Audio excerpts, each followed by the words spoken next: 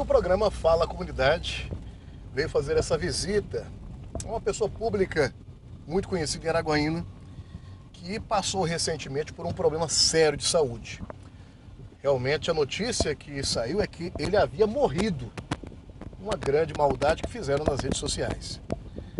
Mas agora, com exclusividade, o programa Fala Comunidade chega na casa do vereador Cheiroso. Vamos estacionar e ver como é que está o estado de saúde do vereador e o que ele espera né, de melhoras realmente é, com relação à sua qualidade de vida. Vamos agora, nesse momento, acompanhar passo a passo dessa visita surpresa ao vereador Cheiroso, que está ali é, dentro de casa, no fundo desses portões. Vamos pegar o vereador de surpresa.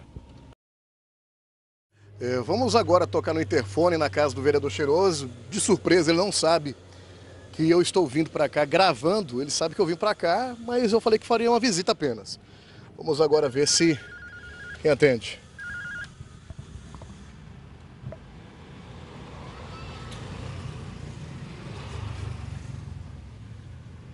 Ver se tem alguém.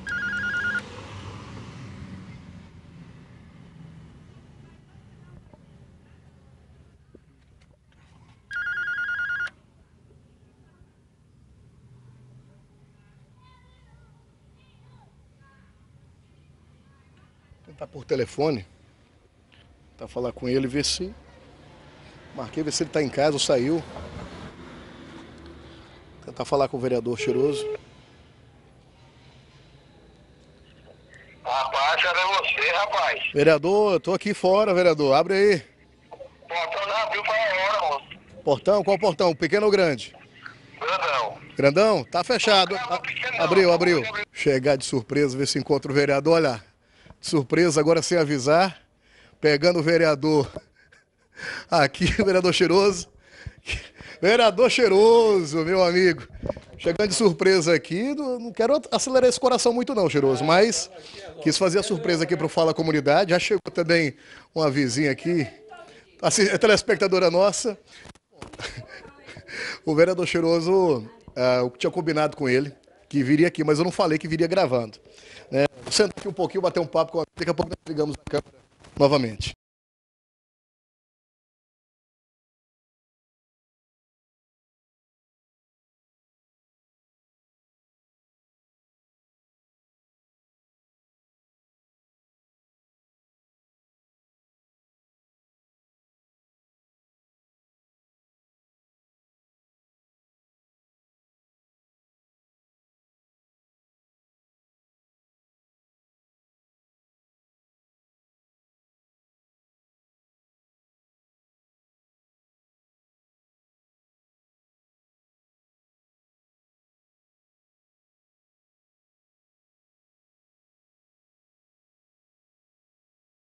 Pois bem, agora é, estamos aqui, depois que eu cheguei, já tinha dias que eu não via meu amigo cheiroso, e agora nós estamos a- com ele aqui do lado, pegamos de surpresa, né?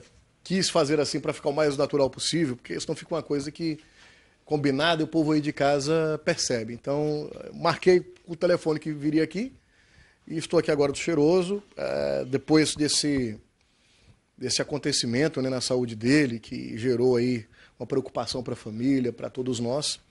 É, vamos conversar com ele, saber realmente agora o que, que realmente aconteceu. Cheiroso, você agora tá, tá até mais magro, né? Tá, tá mais novo, parece. É, parece tá. que o negócio fez, fez foi te ajudar, rapaz. É, graças a Deus eu, eu recebi divino, assim, muitas orações, muito apoio da comunidade e tenho também me esforçado para que a gente possa recuperar o mais rápido possível. Estou fazendo fisioterapia e graças a Deus eu tenho recuperado cada dia que passa, a nossa saúde está cada vez melhor. É, como foi, Cheiroso, que aconteceu todo o incidente? É, foi um AVC? Foi, o, foi um derrame? Qual, o povo de casa entender o que, é que aconteceu contigo, que horas? Faz uma retrospectiva aí de como foi esse momento preocupante. É, na verdade aconteceu um AVC, né? E aí na hora que nós chegamos ali, eu estava indo para a casa do Divino, nós tínhamos marcado os vereadores, nos encontrarmos lá. Aí na hora que chegou ali de frente do campeiro, passando em frente do campeiro, eu não senti mais o braço. E aí quando eu virei que eu fui puxar, pegar na, puxar a perna para mudar de marcha, também não senti a perna. Aí só fiz encostar ali próximo à academia e uma senhora, eu pedi que ela ligasse para minha esposa e para o SAMU, para que a gente pudesse ser socorrido. Que na hora fiquei nervoso, não senti nada, não estava aguentando nem fazer a ligação. A ligação. Mas graças a Deus ela ligou, minha esposa chegou imediatamente, logo em seguida chegou o SAMU, nós fomos encaminhados para o hospital regional e fui é, receber os atendimentos. E a pressão foi controlada e passamos a fazer toda uma série de exames para a gente poder controlar a pressão e poder evitar que o sangramento do AVC continuasse. Na hora, eu, eu, eu fui, quando eu fiquei sabendo, eu mesmo, eu, o Marcos, Marcelo e o Gipão, nós fomos, eram umas 11 h da noite, chegamos lá na, naquela parte que chega as ambulâncias, no pronto-socorro, e conversamos com você, percebemos que você estava, estava controlado. Né? Sua esposa, Luciana, médica lá também, o Edmundo, seu irmão, estava lá também. Depois daquele momento, Cheiroso, o que que, o que, que aconteceu? Aí o médico é, começou a te medicar, ficou de repouso, precisou de fazer alguma cirurgia, alguma coisa assim? Não, não. Depois dos exames que foram feitos, não, é, devido ao AVC ter sido bem pequeno, não houve a necessidade de fazer nenhuma cirurgia. E também o nosso organismo reagiu muito rápido. Então a gente passou a ter uma recuperação já no mesmo dia, já à noite. A pressão já passou a, a controlar. E aí a gente não houve necessidade de fazer cirurgia. É, hoje você está aqui assistindo televisão, é, aparentemente, se, se a pessoa não souber e não movimentar, você não pensa que você passou por esse momento tão delicado. Quais são as suas limitações hoje, é, motoras, as limitações que você tem de movimentação? Quais são? Na verdade, no, no dia do AVC, eu, eu, fiquei sem sentir o braço e a perna. Do lado esquerdo? Do lado esquerdo. Nem o braço, nem a perna, estava sentindo nada, nem para movimentar. De lá para cá, já estou sentindo o braço, já sinto já a perna e já movimento. Braço com dificuldade, mas já movimento. Já, você consegue já, já fazer o braço. E a perna? E a perna também. A perna estou até convocar para um time aí que eu já estou pronto para jogar bola já. já está preparado para o futebol? pronto para o futebol.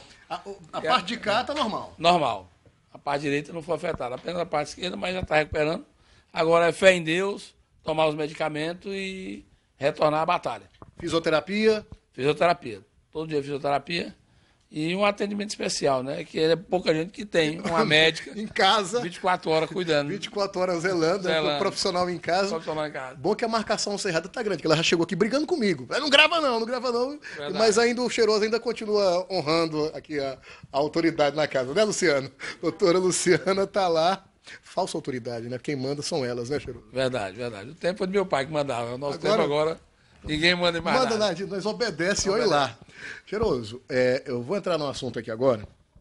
Eu nem ia falar, mas eu vou, percebendo que você está tão bem aí, eu me dei essa liberdade de fazer isso. Correu nas redes sociais que você tinha adoecido por causa de um comentário de, de gente que não tem muito o que fazer. O que causou o seu problema? Foi você passou raiva mesmo com esse comentário? Não, foi, não. foi o quê? Não, não passo. Eu te, conheço, conhece, eu, te conheço, você não é de estar tá carregando é, eu, ódio assim eu, no coração. Eu, quando entendeu? eu vou pegar fogo assim, o mundo o mundo tá se acabando. Pois não é, de forma nenhuma. Eu já, já testemunhei gente, tanta gente, coisa contigo. Exato. E o pessoal aqui, eu não dava conta. E você Exato. aguentou numa boa aí. Exato. Teve é, alguma coisa nesse sentido? Não, não. A gente, na verdade, assim, todo dia a gente que é homem público, a gente se depara, discussão, é, alguma coisa nesse sentido. Mas a gente é cabeça fria, preparado para isso. O homem público ele tem que estar preparado para as diversas compreensões, principalmente da sociedade. Essa é. questão de que foi comentários do WhatsApp, não, é, críticas, não foi isso que não, causou. Não, não Isso aí foi mesmo, eu acho que final de ano, era muito compromisso que a gente estava tendo final de ano, é, comendo comida gorda demais, e muito churrasco e. Chambari de manhã Chambari cedo, de manhã cedo, panelada. principalmente chambari. É, o último que eu comi foi no Brejão, na casa de um amigo meu, no, no, no povoado Brejão. E aí a gente comeu um chambari muito gordo na casa do seu Raimundo, mas não foi o que me causou mal, não. Foi o excesso que a gente estava tendo. Mas agora estamos controlando. Na marra vai controlar é, agora. Na marra. Na marra. Já estou até emagrecendo. Mas então você está mais magro, rapaz. Eu até a aparência está bem mais magra. Exato. Já passei a comer menos arroz, menos feijão, reduzir a alimentação. Quero voltar já com o corpo atlético, já na primeira sessão da Câmara Municipal, com fé em Deus, a partir de fevereiro. Eu ia perguntar isso. Sessões vão começar daqui uns 15 dias. É, em fevereiro, no máximo agora, já inicia ah, os trabalhos legislativos municipais. Vereador Cheiroso, vai dar conta de ir para a sessão? Será que a, a doutora, a médica, vai autorizar, vai permitir o trabalho ou o suplente vai ter que assumir? Olha, eu acredito que, conforme a liberação da médica aí, a autorização, nós vamos estar a todo vapor agora já em fevereiro para assumir todos os nossos trabalhos e continuar com o trabalho na Câmara Municipal de Araguaína junto com os colegas, que é um brilhante trabalho que a gente tem feito. A prova é que a cidade tem assistido as melhorias chegando nos bairros e às vezes as pessoas pensam que é só o prefeito. Quando chega um asfalto no bairro, lá tem a canetada do vereador. Quando chega um posto de saúde, tem a canetada do vereador. As pessoas só pensam que quando tem um buraco, é responsabilidade do vereador. Não pensa que a melhoria também são os vereadores que estão levando para a comunidade. Então, sorte, Araguaína, ela tem ganhado, porque às vezes até a noite, nós fizemos sessões na Câmara até 11 horas, meia-noite, até duas da manhã a última sessão ocorreu, porque nós aprovamos matérias importantes para garantir recursos, para que o prefeito possa garantir as contrapartidas para a construção dessas diversas obras na cidade de Araguaína. Enquanto o Brasil está parado, o Tocantins está parado, a Araguaína está trabalhando. Esses méritos além de ser do, do, do, trabalho do prefeito, também são dos vereadores que têm se empenhado para garantir os recursos para que ele possa executar as obras. A gente percebeu que o derrame, o AVC, foi só no, na parte de lá, porque na língua, o vereador Cheiroso continua afiado e falando bem, né? É, não teve abalo nenhum, não, não, Cheiroso. Não teve abalo nenhum, graças a Deus, não teve abalo nenhum. Estamos aqui aproveitando esse intervalo aí, esse tempinho que tivemos, para pesquisar, estudar, para que a gente possa chegar agora na primeira sessão mais afiada ainda e para garantir esse 2016 com muita alegria para o povo de Araguaína. Tá certo. Bom, eu só tenho que, nesse momento aqui, desejar, em nome dos amigos do vereador Cheiroso, as melhoras para ele, que ele possa alcançar aí a plena saúde, possa estar recuperado, né, para suas atividades. É um, uma pessoa conhecidíssima em Araguaína. Eu costumo dizer de forma muito carinhosa que quando eu era criança, ainda no colo de minha mãe, o cheiroso já, já ecoava a voz dele no parlamento municipal, né, muito novo. Então, assim, é, a gente fica feliz em ver a sua recuperação. É um homem antigo da Polícia Araguainense, já conhecido. E, cheiroso, deixar aí a nossa lente da, do Fala Comunidade, para que você possa transmitir a, aos telespectadores, aos seus eleitores, aos seus amigos de Araguaína, a sua mensagem de Ano Novo, e, acima de tudo, essa, esse espírito de, de luta, de força e de não entregar os pontos. Olha, eu gostaria de informar a população de Araguaína que eu conheci esse grande jornalista, esse grande vereador, ainda na posse do meu irmão Edmundo Galdino e do pai dele, o Divino. Eu era menino e ele 82. também menino, em 82. Aí de lá para cá nós corremos aí para assumir uma cadeira na Câmara. Graças a Deus nos encontramos e a gente tem procurado fazer um grande trabalho.